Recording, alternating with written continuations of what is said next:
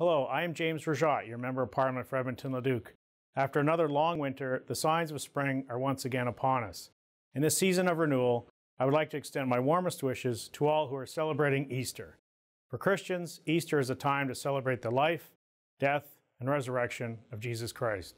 It is also a time of joy and tremendous hope, feelings that can help unite Canadians of all faiths and backgrounds. On behalf of our government, I wish all a happy Easter and may peace and joy come your way this spring.